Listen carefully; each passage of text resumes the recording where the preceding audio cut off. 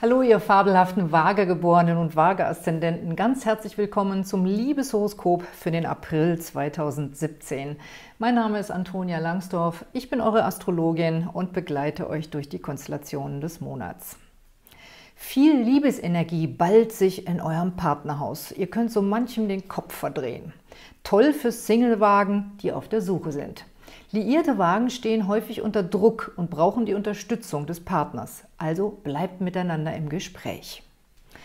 Darauf gehen wir dann gleich näher ein. Jetzt noch ein Hinweis, es gibt auch diesmal wieder eine Verlosung. Ich habe was Schönes zu gewinnen für euch. Wenn ihr darüber mehr wissen wollt, bleibt dran bis zum Ende des Videos. Jetzt zu den Konstellationen, die längerfristig auf euch einwirken. Weiterhin steht Glücksplanet Jupiter hier wunderbar in der Waage in eurem Zeichen und läuft diesen Monat durch die zweite Dekade.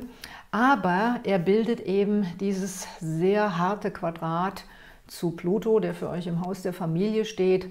Und das habe ich wirklich jetzt auch häufiger beobachtet bei den Waagegeborenen, dass sich das so ausdrückt, dass sie einerseits wirklich sehr viele Chancen bekommen, äh, wirklich auch tolle Sachen unternehmen, Neues anfangen, beliebt sind, populär sind, tolle Erlebnisse haben, aber oftmals auch einen Druck, eine Verantwortung und Schwierigkeiten, die ähm, aus dem Familienbereich herkommen. Sei es durch Geheimnisse, hier Pluto, ne, aus der Vergangenheit oder wirklich auch durch ganz konkrete Angelegenheiten, die die Familie betreffen, manchmal auch Verluste.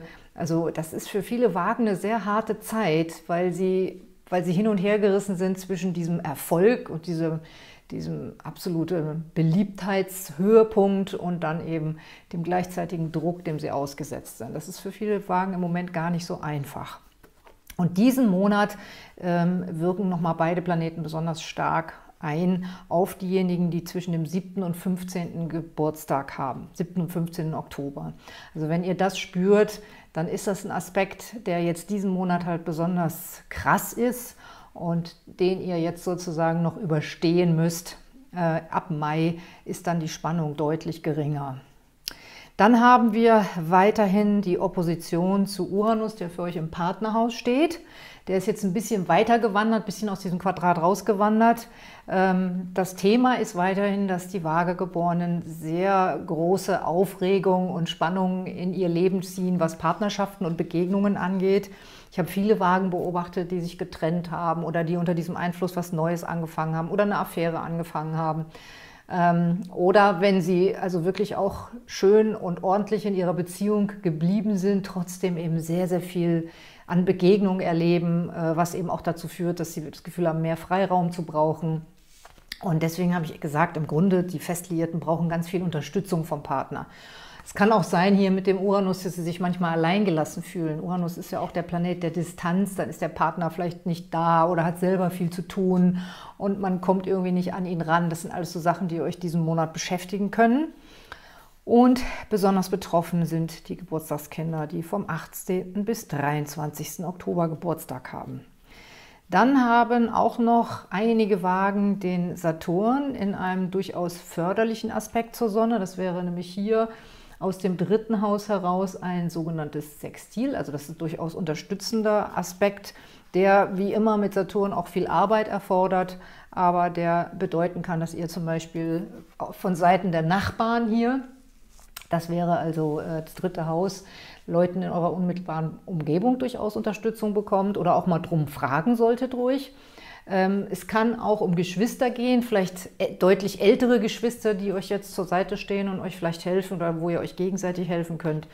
Da müsst ihr mal schauen, wie sich das in eurem Leben äußert. Und dann habt ihr ja auch Lilith hier im dritten Haus. Das kann für diejenigen Wagen, die sich für Lilith interessieren, äh, ein gutes Thema sein, sich äh, mit dem Gedanken an die innere Göttin mal ein bisschen auseinanderzusetzen. Also das Sextil Saturn, das spüren in diesem Monat besonders die Geburtstagskinder, die zwischen dem 19. und 23. Oktober Geburtstag haben. Jetzt gehen wir durch die aktuellen Konstellationen, beginnend mit dem Neumond der das Thema hier schon ganz klar vorgibt, spielt bei euch im Partnerhaus. Also diesen Monat spitzt sich diese gesamte Partnerschaftsdramatik bei euch nochmal enorm zu. Ist ja schon für viele Wagen jahrelang ein Thema, aber das ist jetzt hier sozusagen der, der Gipfel. Also das habt ihr ja in jedem April, immer wenn die Sonne durch den Widder läuft, aktiviert sie automatisch Partnerschaftsthemen bei euch, weil das eben einfach dieser Oppositionsaspekt ist, der wie, wie eine Partnerschaftsgeschichte für euch wirkt. Egal, wo das jetzt im individuellen Horoskop steht, es wirkt immer ganz stark auf Partnerschaften und natürlich auch für die Waage Aszendenten würde jetzt der Uranus im siebten Haus stehen. Also das ist jetzt wirklich eine ganz wichtige Phase und dann im April eben aktuell ganz stark aus, ähm, ausgeleuchtet gewissermaßen durch die Sonne.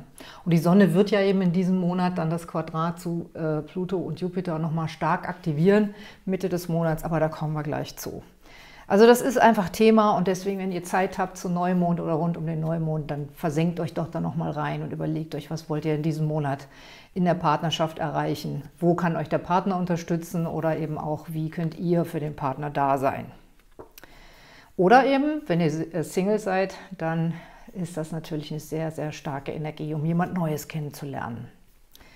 Dann startet der Monat außerdem noch mit äh, weiterhin die Sonne in 7, Uranus in 7 ist klar, die rückläufige Venus ist in 7.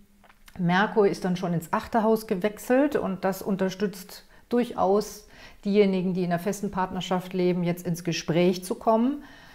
Und äh, auch der Mars steht für euch im Haus der festen Partnerschaft, kann natürlich auch wieder ähm, Konflikte dort bedeuten.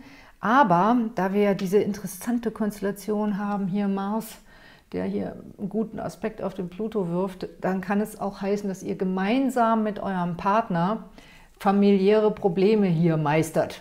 Und dass ihr selber hier mit eurer Jupiter in eurer Waage, dass ihr da euer Ego ein bisschen zurücknehmen solltet, sondern lieber die Kraft in die Beziehung investieren, beziehungsweise an die Beziehung glauben und mit dem Partner gemeinsam euch diesen Problemen stellen. Und dieser interessante Power-Aspekt dauert etwa bis zum siebten. Und dann könnt ihr den vielleicht ausnutzen. Aber nochmal jetzt zurück, wir waren jetzt noch vorne stehen geblieben. Am 3., ah ja, ihr habt gleich am ersten Tag auch einen Top-Tag, am 1. April. Äh, jede Menge Anregungen für die Liebe. Mond steht im Haus der Pläne, also Pläne machen und Inspirationen ist da groß geschrieben. Ähm, natürlich kann es sein, dass solange Venus im Rückwärtsgang ist, sich Pläne auch nochmal ändern. Aber die Inspiration ist auf jeden Fall da. Dann am 3. läuft die Venus für euch zurück ins Haus der Gesundheit und bleibt dann da auch den ganzen, fast den ganzen Monat. Das heißt, sowohl die Gesundheitsthemen als auch Themen rund um den Arbeitsalltag sind da nochmal angesprochen, komme ich aber gleich noch zu. Ähm, dann haben wir am 6. noch einen Top-Tag für euch, wenn der Mond im Löwen steht und damit einfach schöne und anregende Aspekte auf euch wirft und auch freundschaftlich vor allen Dingen anregende Aspekte. Also heitere Begegnungen im Freundeskreis können euch an diesem Tag auch den Druck mal vergessen lassen. Das solltet ihr überhaupt auch nicht vergessen bei dem ganzen Druck, den ihr habt, dann trotzdem euch ein bisschen zu amüsieren.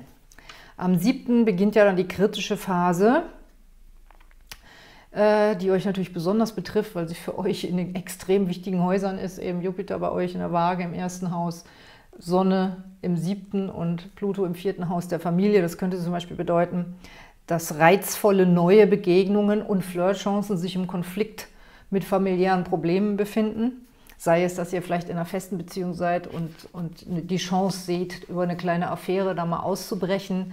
Oder dass ihr, äh, wenn ihr Single seid, kann Familie nun auch die Eltern sein. Ne? Also das, äh, das ist schon eine starke ähm, Zwickmühlensituation. Äh, kann natürlich auch um Geldthemen dabei gehen für euch.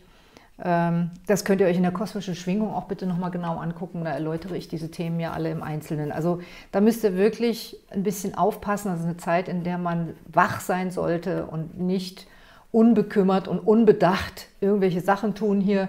Ähm, Jupiter-Opposition, Sonne kann wirklich dazu führen, dass man sorglos Dinge tut, die äh, unangenehme Konsequenzen haben können, auch zu peinlichen Situationen führen können. Also passt auf äh, und bleibt da hellwach, fahrt eure Antennen aus, damit ihr mitkriegt, darin seid ihr ja eigentlich gut als diplomatische Wagen, ähm, wo eben eventuell die Fettnäpfchen lauern. Am 10. während der kritischen Phase wird ja dann auch noch der Merkur rückläufig. Es kann dann zusätzlich noch Missverständnisse äh, mit sich bringen.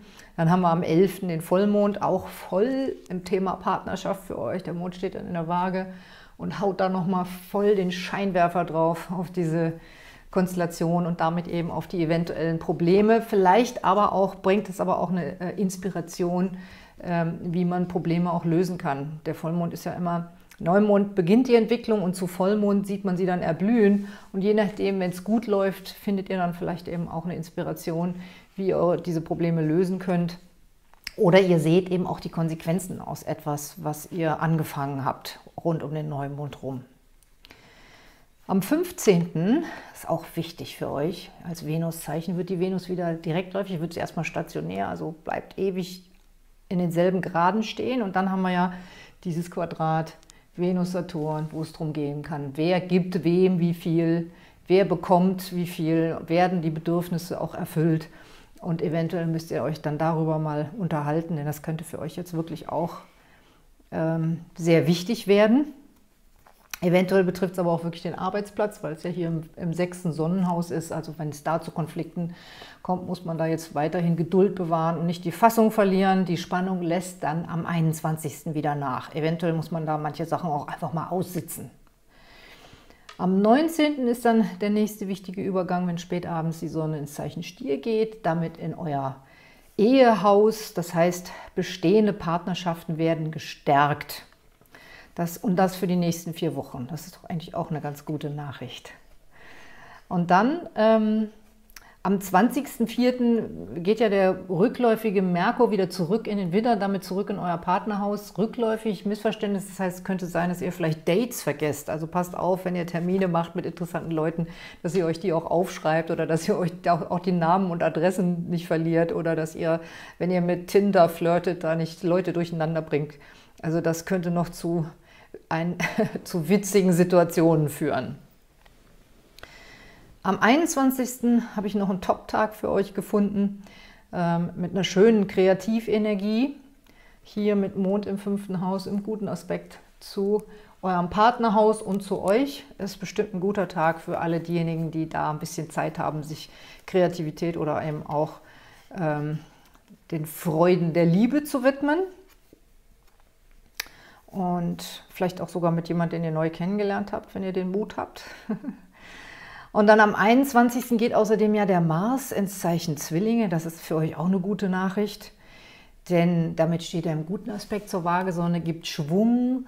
Das ist auch hier neuntes Haus, Thema der Fortbildung. Also da könnt ihr zum Beispiel mal das angehen, dass ihr euch vielleicht bewerbt oder auch mal ein bisschen aggressiver äh, drum rangelt, da eine Fortbildung zu bekommen. Oder ihr überlegt euch, was ihr da vielleicht machen wollt, was ihr äh, für Pläne machen könnt fürs, fürs Reisen.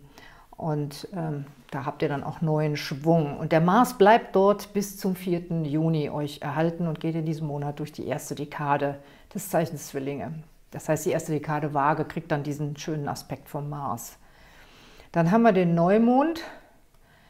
Der ist für euch äh, im achten Haus. Also das ist auch nochmal ein Hinweis, dass bestehende Beziehungen bei euch, also wenn ihr euch lange kennt und auch vielleicht viel gemeinsam aufgebaut habt, die sollten im Mai äh, ganz besonders viel Zuwendung bekommen. Da denkt drüber nach und äh, führt Gespräche über Abmachungen, vielleicht auch all diese Themen, die im April aufgekommen sind, dass man die im, dass man im Mai wirklich guckt, was, was hat das mit uns gemacht, mit unserer Beziehung, wo stehen wir jetzt, wie können wir aus Fehlern lernen oder eben auch, wie können wir uns anerkennen dafür, dass wir das gemeistert haben. Am 28.